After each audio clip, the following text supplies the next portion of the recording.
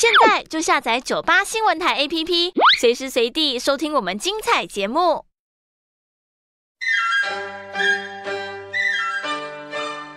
我是李贤阳，祝大家新春如意。今年属羊的朋友在事业运势方面要留意，由于是冲太岁哦，所以今年的人事纠纷呢，往往让人家应接不暇。就算你是有三头六臂哦，其实也很难完全接招啊。是你的个性呢，向来都不服输啊。那如何要让自己能够突破这个困境？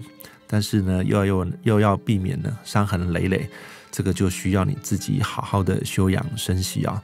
很多事情呢，如果真的不能完成，那就帮自己找个台阶，优雅下台。千万呢，不要轻易的跟别人起了争端。很多事情呢，往往把事情做到一个极端的选择的时候，事情就难以好好收尾了啊。在事业上面呢，会面对许多的抉择啊，影响未来整年的布局。这个时候呢，长官对你的态度是非常重要的指标，可以谦虚的寻求他们对你的一个支持跟协助。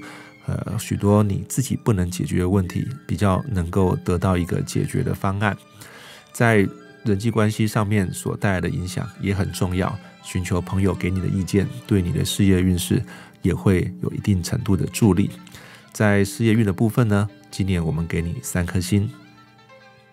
在金钱运的方面呢，今年你虽然在理财方面呢会有一些呃独到的眼光，投资呢也有机会能够大发利市，但是呢，投资分析这件事情呢，对于资讯的过滤是必须要能够得心应手的啊。如果有好运呢，也是会有保存期限的啊。所以这不表示你这个月投资的好，下个月呢就一样能够保持战果啊。切莫因为获利了，然后就持续加码。否则，你好不容易累积的财富可能会有崩盘的时候哦。所以呢，最好在每个阶段呢，都要精准的看待自己要投入的资源，呃，有足够的修正再进场，其实也还不迟啊。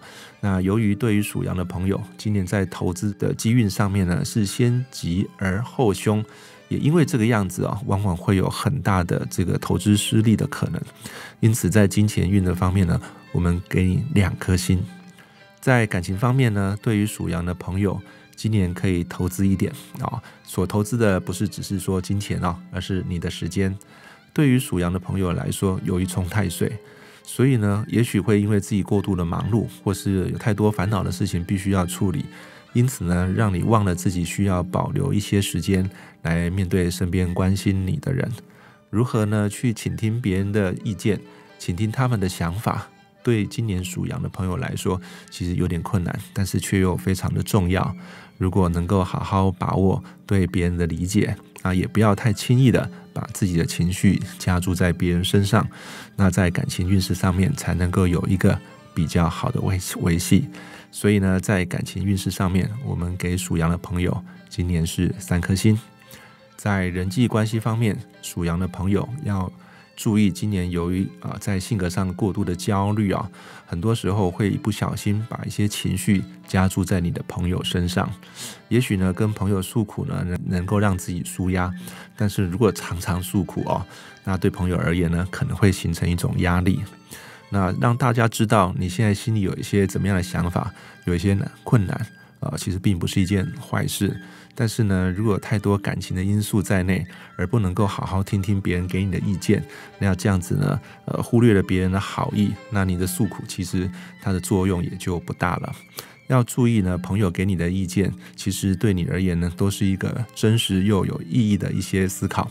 所以呢，好好检视里面的内容，让自己有一些适当的调整。